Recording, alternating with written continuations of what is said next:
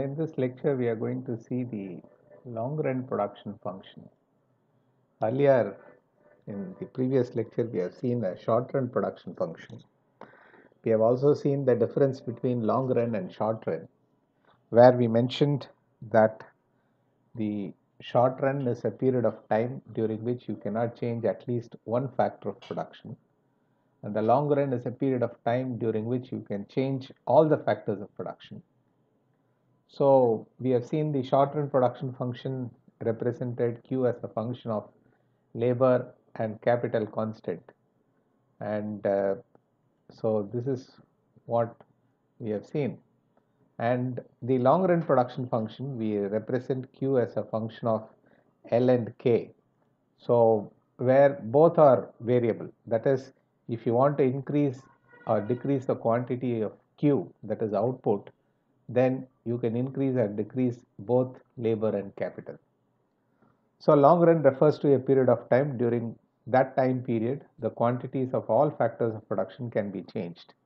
In the long run all factors of production are variable factors. This is what we have seen already. Now we proceed further.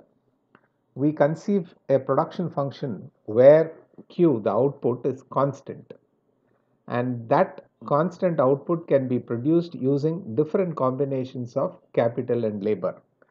We can call this function as an isoquant. So isoquant is a production function where Q is constant whereas L and K are variable. So iso means same, quantity, quant means quantity. So this isoquant means the same quantity of output that is produced with the different combinations of labor and capital. So isoquant represents the combinations of labor and capital that give the same level of output. This is similar to an indifference curve you would have studied in a few chapters earlier where indifference curve gives different combinations of two commodities that gives the same level of satisfaction. So similarly here different combinations of two factors of production that give the same level of output. So if you remember what is an isoquant then uh, what is an indifference curve then you can easily understand the isoquant as well. So indifference curve is used in the context of consumption and derivation of a demand curve whereas isoquant is used in the context of discussion of public uh, production function. So this is the first part of it. Then uh, this is how an isoquant will be. So I have given for instance IQ1 which is uh, which is 10 units of production. So I represent labor along the x-axis and capital along the y-axis. So 10 units of capital and 5 units of labor producing 10 units of output. The same 10 units of output can also be produced by using 5 units of capital and 15 units of labor. So this is an isoquant because both at A and C we are producing the same level of output but different combinations of capital and labor. Here the combination is 10 capital and 5 labor whereas at C the combination is 5 capital and 15 labor. Take this case of B which is using 10 capital and 15 labor of course obviously greater than this combination or greater than this combination so the total output is also higher. So B is on a higher isoquant. So higher the level of isoquant, higher will be the level of output. So just like an indifference curve, all the properties of indifference curve we have seen, the same properties are also common for uh, the isoquant. That is, farther an isoquant is from the origin, the greater the level of output. That is this the origin. If you go this way, First is 10 units of output. The next one is 20 units of output. That is farther the isoquant, higher the level of output. Isoquants do not cross each other. If they cross each other, then it becomes very illogical. And isoquants also slope downwards from left to right. So these are all the common properties of isoquant and uh, the same as the properties of an indifference curve. The same logic applies here too. So if you can remember the properties of an indifference curve, then understanding the properties of an isoquant is not difficult. Suppose I assume that uh, and this indifference curve cuts here. That means this particular combination of capital and labor, it can be used to produce 10 units as well as 20 units. How is it possible? When there is a particular combination of capital and labor, then it can give only one level of output. It cannot give two different levels of output. Therefore, the isoquants cannot cut each other. So this is the first point that and it slopes downwards because as you reduce capital then you should increase labor to maintain the production. Compare A to C. Actually we have reduced capital by 5 units. In A capital used is 10. In C capital used is 5. So you are reducing capital but you want the same level of production that is you want to produce the same 10 units of output. So when you reduce capital to maintain the production at the same level then you should obviously increase the other factor of production that is labor here. So you will have to increase labor from 5 to 15 and then it goes up to uh, C. So where C is also 10 units of output. That's why the isoquant slope downwards from left to right because as you reduce one factor of production, you should increase the other factor of production in order to maintain the level of output at 10. So this is what we understand an isoquant is. Next is the slope of an isoquant. The slope of an isoquant can be a straight line. We have seen earlier a, a curvilinear line, we will see that later.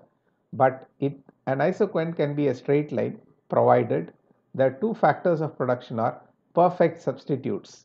That is, if I reduce one unit of capital and increase one unit of labor, then at every point I will be able to do the same and maintain the same level of production.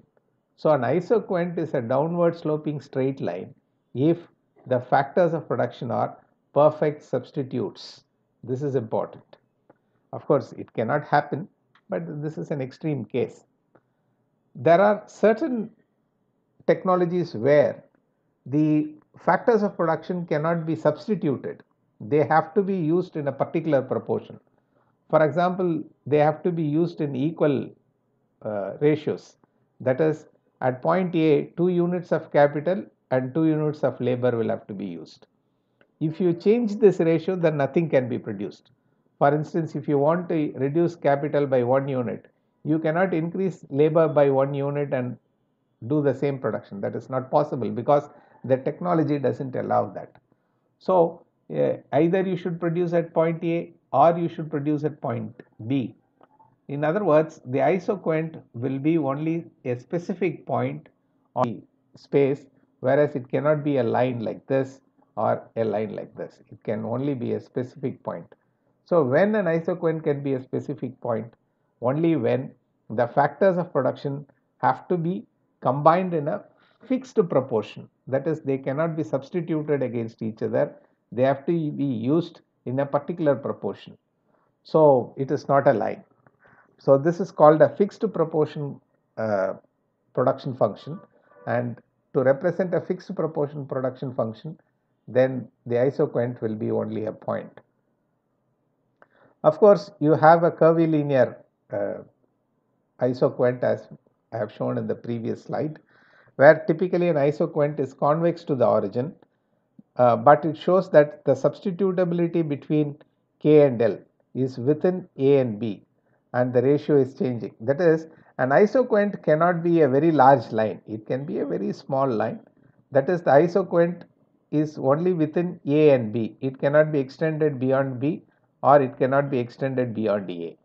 So, it is it has got its own limitations that is why I say it is within the limits of A and B and the ratio in which it can be substituted that is the ratio of substitution of capital for labor or labor for capital that is also changing at each point here that I will show in the next slide but all that I am trying to tell you is the substitutability between capital and labor will be changing along an curvilinear isoquant that is an isoquant when it is curvilinear when it is a curve then the ratio at which capital can be substituted for labor will be changing at each of these points. That is first one. Second, a curvilinear uh, isoquant is actually within limits. It cannot be extended beyond a particular level. So this is uh, these are the three forms in which an isoquant can exist. Then we are coming to the slope of an isoquant. The slope of an isoquant shows the rate at which capital can be substituted by labor. That is, here I am reducing at point A, I am reducing capital by 1 unit and I am increasing labor by 1 unit. That is, I am substituting 1 unit of capital by 1 unit of labor. This is the ratio. So, the change in capital divided by change in labor which is 1 by 1. So, it is actually this is negative 1. So, it is also negative. This ratio is called marginal rate of technical substitution. What is this ratio? This ratio shows the rate at which capital can be substituted by labor. So, I call it as marginal rate of technical substitution labor for capital that is I am substituting labor for capital that is reducing capital and increasing labor. So, that can be written as change in capital divided by change in labor or in a mathematical notation it is dk by dl. Now, this marginal rate of substitution it is 1 here at point A whereas here it is 1 is to 4 that is minus 0.25. So, here the diminishing marginal rate of substitution here it is 1 here it is point, uh, 0.25 which means the marginal rate of technical substitution it declines as we move from uh, top to bottom that is from left to right then there is a diminishing marginal rate of substitution this is an important point you will have to remember that's why I have marked it as important that is diminishing marginal rate of substitution as we move from left to right. Why it is diminishing? Why here we are the same one unit of capital can be replaced by one unit of labor. Here one unit of capital can be replaced by only 4 units of labor. Why this is the case?